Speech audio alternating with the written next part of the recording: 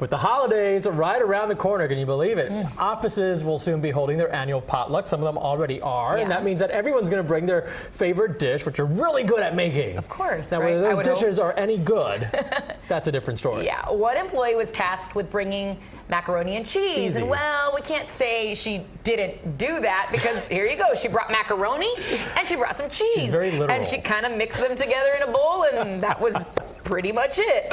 I'm not sure how well cooked the macaroni is, but the cheese clearly not melted on that. Uh, one of her coworkers tweeted about it and said the dish had no type of seasoning either, so some pretty bland mac and cheese.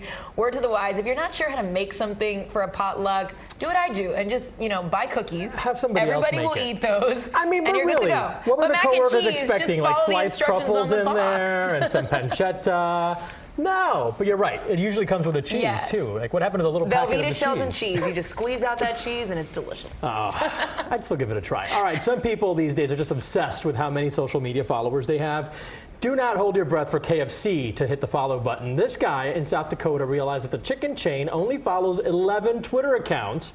Those 11 people, he says, five Spice Girls and six guys named Herb. Get it? 11 I herbs and spices. Yeah. I need time to process this, the guy says. I think it's really just genius. Well played, KFC. And Good I job. think I think I saw on Twitter that one of the herbs is actually a former UM football player. Oh, so it? A, a local guy getting some love. I gotta go look You up did your his last name. I saw on Twitter. I spent far too much time there. Okay, so this takes ripped jeans uh, to a whole Oh. new level. Did we need to censor this? I'm not sure. No, it looks like she's got a leotard on. Does so she I need to pay for that? That's what I wanna I don't know. know. Forget just a couple of tears on the knees. These designer jeans cut out the knees, the thighs, the shins, and as you see there, the, the rear end as well. They've been dubbed thong jeans and they debuted at Amazon Fashion Week in Tokyo this week. I couldn't find the price of the jeans, but save yourself some money. Just take the jeans you have, run them over with a lawnmower or anything. Just take a scissor Yeah, to know, it I- and you'll be good to go. I think we need to censor Easy that because somebody's going to get a phone call and it's not the Amazon fashion people.